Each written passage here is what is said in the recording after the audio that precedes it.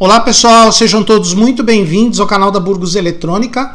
Luiz Carlos Burgos aqui. Como é que foram de Natal? Foi tudo bem? Tudo tranquilo? Tudo na paz? Tudo na tranquilidade, né? Então, pessoal, nesse vídeo aqui eu vou ensinar para vocês como fazer uma conversão do número decimal para o número binário. Vocês sabem que, ou quem não sabe ainda, aqui no canal nós temos vários vídeos a respeito desse assunto. A eletrônica digital trabalha com dois níveis de tensão um nível mais baixo, chamado nível baixo, uma tensão mais baixa, nível baixo ou zero, e uma tensão mais alta, que é o nível alto ou 1. Um. Então a eletrônica digital trabalha com níveis 0 e 1, um, nível alto e nível baixo. Cada nível alto ou nível baixo chama-se bit, que é a menor unidade que nós temos na eletrônica digital. Então, esses bits, né, que são números binários, porque eles só têm duas possibilidades, é 0 ou 1, um, são utilizados nos mais diversos equipamentos eletrônicos, né? praticamente todo equipamento eletrônico funciona com base na eletrônica digital. E hoje eu vou ensinar para vocês como é que a gente faz para converter um número decimal que todo mundo conhece num número binário que nem todo mundo conhece. Tá? A matemática binária é diferente da matemática convencional com números decimais, tá bom? A gente pode converter um número binário em decimal, né? O circuito eletrônico pode fazer isso e podemos é, converter o número decimal em binário. Eu vou ensinar de um jeito bem fácil como fazer isso nesse vídeo. Mas antes, se você está aqui pela primeira vez no canal, ou se você já é frequentador do canal não é inscrito ainda, inscreva-se no canal, ative as notificações, porque você vai ser informado dos vídeos e lives que fazemos aqui todas as sextas às 19 horas. Se você gosta do nosso material, pessoal, quiser ajudar o canal financeiramente, você pode tornar-se membro clicando no botão Seja Membro. Você ajuda o canal com um pequeno valor por mês e nós oferecemos aí um material extra: vídeos, cursos, lives e promoções exclusiva para os meus queridos patrões. Você que já é membro do canal Burgos Eletrônica, muito obrigado pela ajuda que vocês nos oferecem.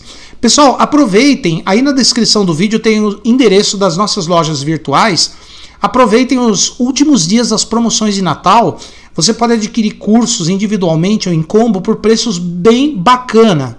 Tá, pessoal? Aproveita aí os últimos dias da promoção de Natal da Burgos Eletrônica. Pessoal, então vamos ver como é que faz isso de um modo bem fácil. Primeira coisa que vocês vão prestar atenção, esses números que eu coloquei aqui em cima são as potências de 2, porque o número binário, ele tem duas opções, ou é 0 ou 1. Um. Então, baseado no número 2, duas opções, nós temos as potências de 2. 2 elevado a zero, a potência zero é 1. Um. Qualquer número elevado a zero é 1. Um. 2 elevado a 1, um, a potência 1, é 2. 2 elevado ao quadrado, que é 2 vezes 2, é 4. 2 elevado ao cubo, 2 elevado à terceira potência, é 8. 2 vezes 2 vezes 2 é 8. 2 elevado à quarta potência, 16. A quinta potência, 32 a sexta 64, a sétima 128, a oitava 256, a nona potência 1512 e a décima potência multiplicando 2 vezes 2 10 vezes dá 1024, tá? Então esses números aqui você vai ter que guardar que a gente vai usar para essa conversão, tá bom?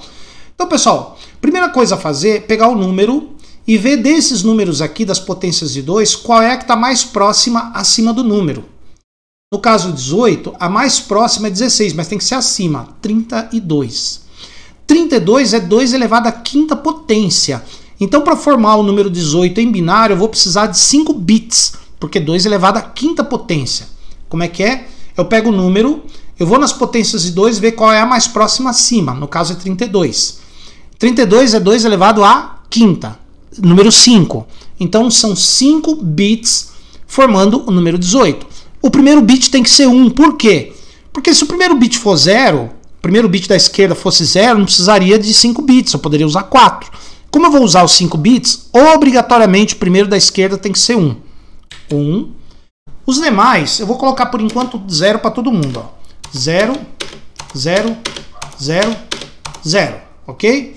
Então, ó, o 18, é, o primeiro são 5 bits porque o mais próximo é 32, 2 elevado a quinta, são 5 bits. O primeiro é obrigatoriamente 1, tá bom? Agora nós vamos começar a trabalhar com os bits da direita para a esquerda. O primeiro bit da direita, bom, vamos lá. O número 18 é par ou ímpar? Como ele é par, o primeiro o bit mais à direita, o primeiro bit da direita é 0. Como é que é? Se o número é par, esse bit aqui é zero. Se o número é ímpar, esse bit aqui é 1. Tá? Como é par, zero. Então esse aqui é zero. O próximo. O próximo você vai dividir 18 por 2. 18 por 2 dá 9. 9 é ímpar. Então esse bit aqui é 1. Agora vamos para o próximo. Você vai dividir o 9 por 2. 9 por 2 dá 4. Não tem, problema, não tem problema que não dê exato. 9 por 2 é 4. 4 é par. Então esse bit aqui é 0. O próximo é esse. 4 por 2 dividido por 2 é 2. 2 é par. Então esse aqui é 0. Está aqui o número binário correspondente ao 18. Ó. É 1, 0, 0, 1 e 0. Tá? Se você quiser converter ele em decimal para ver se dá certo, então daqui para lá, da direita para a esquerda, é 1, 2, ó, igual esses aqui, ó. 1, 2, 4, 8, 16. Então você vai no, nos, nos bits que estão em nível 1. Esse daqui é o 2. Esse aqui é 2. Ó, 1, 2. 1 é 0, o 2 é 1. Então esse aqui vale número 2 em decimal. E esse aqui é o 16. Ó, 2, 4, 8, 16. Então o 16 e o 2 estão em nível alto. 16 mais 2, quanto que dá? 18. Então esse aqui é o binário correspondente ao 18. Vamos ao 123. Bom, vamos lá. 123. Qual é o que está mais próximo acima? É o 128. 128 é 2 elevado à sétima potência. Então vou precisar de 7 bits. O primeiro é 1. 1, 2, 3, 4, 5, 6, 7. Beleza, agora nós vamos da direita para a esquerda. Esse que está mais à direita. O 123 é para o ímpar? Ímpar. Então, é 1. Tá? Quando o último número aqui, quando o número for ímpar, o último é bit 1. Se for par, o último é bit 0. Tá? Muito bem, 123, vamos para o próximo. 123 dividido por 2 dá é, 61. 61. 61 é ímpar. Então esse aqui é 1. 1. Próximo. 61 dividido por 2, 30. É par. Então esse aqui é 0. 31 dividido por. 30 dividido por 2, 15. 30 dividido por 2, 15, que é ímpar. Esse aqui é 1. 15 dividido por 2, 7, ímpar. 7 dividido por 2, 3, que é ímpar. Opa! Pus 7 aqui, mas aqui é 0. Aqui, aqui é 1 também. Bom, vamos de novo. Ó. 123. Bom, o primeiro é 1. Esse aqui, como número, o número é ímpar. Esse aqui é 1. O próximo, 123 dividido por 2, dá 61. Ímpar, então vai 1. Esse daqui, 61 dividido por 2, 30, é par. 30 dividido por 2, 15, é ímpar. 15 dividido por 2, 7, é ímpar. 7 dividido por 2, 2, 3, ímpar. Então, esse aqui é o binário correspondente a 123. 1, 1, 1, 1, 1, 1, 1, 0, 1 e 1. Vamos conferir? Vamos lá. 1 mais 2, 3. 1, 1 mais 2, 3. 4 a 0. 3 mais 8, 11. 11 mais 16, 27. 27 mais 32, 59. Mais 59 mais 64 dá 123. Tá correto, tá?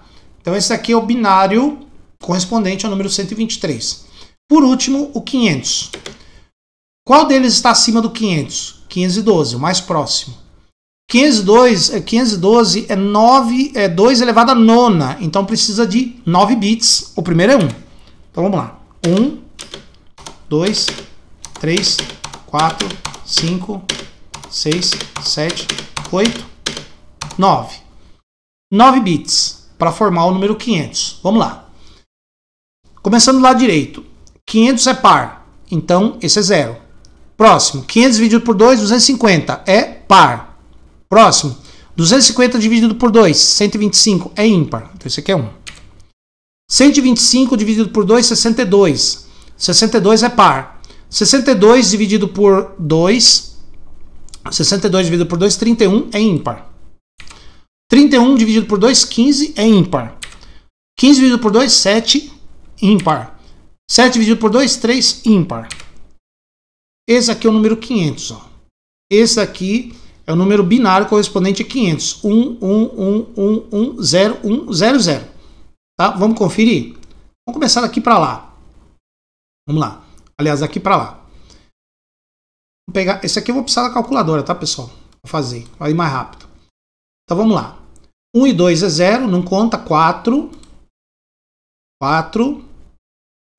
Esse aqui é o, seria o, o 8. Esse aqui é o 16. Mais 16. Mais.